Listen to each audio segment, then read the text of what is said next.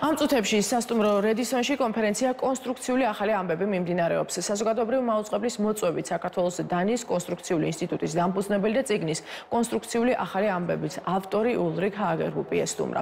კონფერენციის მიზანია პარტნიორი ორგანიზაციების წარმომადგენლებს გააცნოს კონსტრუქციული ჟურნალისტიკის მიდგომა, რომელსაც საზოგადოებრივი მაუწყებელი უკვე პრაქტიკაში იყენებს. კონფერენციას საერთაშორისო ორგანიზაციები, კომუნიკაციების მარეგულირებელი კომისია, მედია ციგნიერებისა და მედიის ინდუსტრიაში მომუშავე ორგანიზაციები, მედიის მიმართ მიმართულების ხელმძღვანელები, უნივერსიტეტებიდან და სტუდენტები ესწრებიან. კონფერენცია საჯარო ლექციას და კითხვა-პასუხის ფორმატს მოიცავს. ორდღიანი ვიზიტის ფარგლებში გუშინ ულრიქ ჰაგერგუბმა პირველი არქის პროდიუსერებისთვის, რედაქტორებისა და ჟურნალისტებისთვის ვორქშოპი ჩაატარა, რომელიც მოიცავდა როგორც პრაქტიკული, ისე თეორიული ცოდნის გაზიარებას. საზოგადოებრივ მაუწყებლის ჟურნალისტებიდან 11-მა უკვე გაიარა გადამზადების კურსი დანიის კონსტრუქციული ახალი ამბების ინსტიტუტში. უახლოეს მომავალში კიდევ 4 მიემგზავრება და წლის ბოლომდე ჯამში პირველი არქის 18 ჟურნალისტი ჟურნალისტი იქნება კონსტრუქციული ჟურნალისტიკის მიმართულებით გადამზადებული.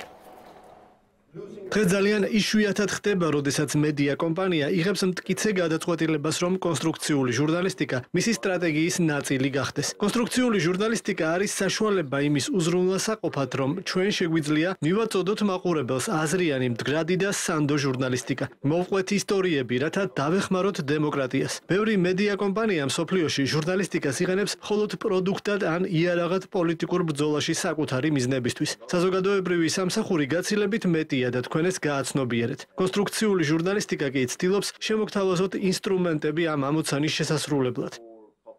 ძალიან მნიშვნელოვანი დღეა ჩვენთვის, ძალიან საინტერესო კონფერენცია. ვფიქრობ არა მხოლოდ საზოგადოებრივ მაუწყებლი ჟურნალისტებისთვის, არამედ ქართული მედია სივრცისთვის.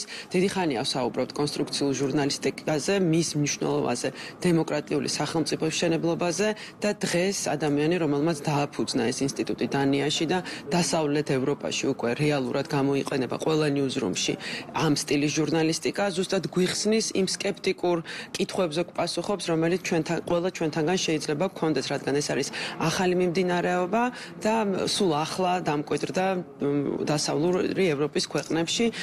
ჩვენთვის ასევე მნიშვნელოვანია, რომ რამდენიმე წელია დავიწყეთ იმპლემენტაცია. ჩვენმა 11-მა ჟურნალისტმა უკვე გაიარა საფუძვლიანი ტრეინინგი დანიაში, მიემგზავრება კიდევ 8. დღევანდელ დღეს, როდესაც მედია გარემო ასე მკვეთრად პოლარიზებულია, რა თქმა უნდა, განსაკუთრებული მნიშვნელობა ენიჭება საზოგადოებრივ მაუწყებელს და მნიშვნელოვანია საზოგადოებრივ მაუწყებლის როლი ამ პოლარიზებულ მედია გარემოში.